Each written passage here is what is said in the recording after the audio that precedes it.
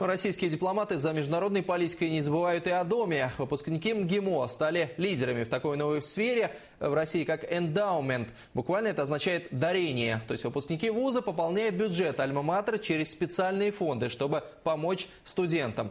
Как это происходит, увидел Дмитрий Санин. Это даже не социальная, образовательная ответственность бизнесом. ГИМО приобщает выпускников к высокой культуре вкладывать деньги в следующее поколение. Жить по принципу «выучился сам», стал успешным, помоги младшим. Выпускники вполне могут этой работой заниматься. Более того, они могут влиять на содержание учебного процесса, особенно те, кто постарше, кто уже прошел через опыт практической работы. Они просто могут э, не, не только советовать. На Западе это называется эндаумент, привлечение инвестиций в ВУЗ с помощью специальных фондов. Бюджет таких фондов в ведущих мировых университетах впечатляет. Гарвард 34 миллиарда долларов, Ель 13, Пристон и Стэнфорд больше 10 у каждого. На Западе жертвовать престижно.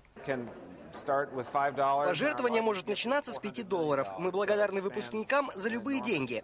Есть у нас и такие, кто перечислял по 400 миллионов долларов. Но средний счет на пожертвование 500 долларов каждый год.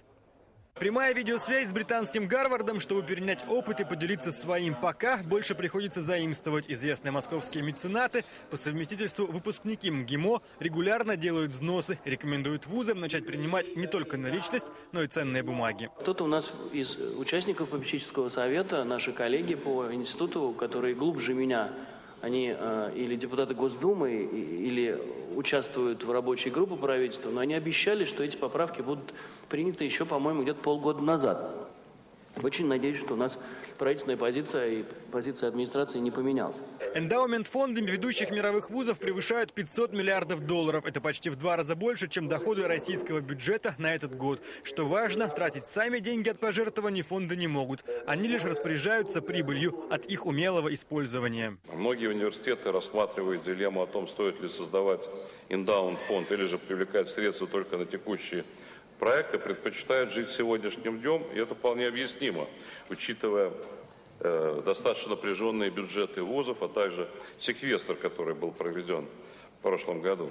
Российским альма-матер за океанские внебюджетные доходы пока только снятся. Эндаумент МГИМО, наиболее успешного в этом плане российского вуза, чуть больше 500 миллионов рублей. Но и эти деньги, положенные в копилку выпускниками бывшими, уже сейчас работают на выпускников будущих. Дмитрий Станин, Роман Цимбуховский, Валерий Лутавинов, Ирина Рачковская. Телеканал РЕН.